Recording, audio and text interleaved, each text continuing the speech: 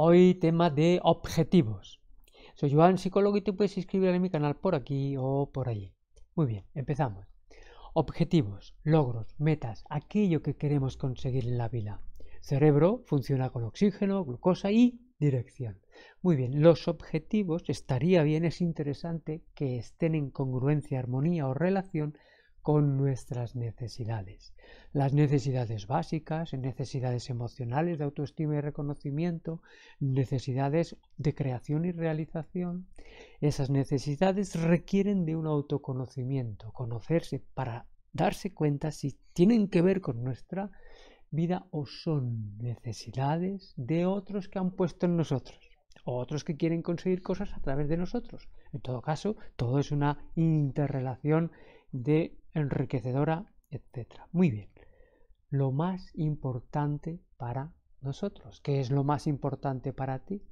Lo que más valoras en, la vida en general o un aspecto en concreto, en la relación, en el trabajo, en el...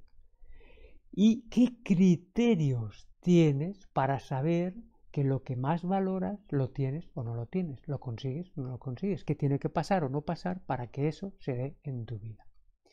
Objetivos conectados, congruentes con necesidades, lo más importante para ti, lo que más valoras, y así vamos a enfocar en esa estructura, organización, en ese orden de nuestra que nos va a dar la orientación en la vida o en un aspecto, en en concreto. Pues entonces tenemos una, una guía, tenemos el timón de nuestra vida. Entonces, ¿qué pasa? ¿Por qué no conseguimos objetivos? ¿Qué pasa?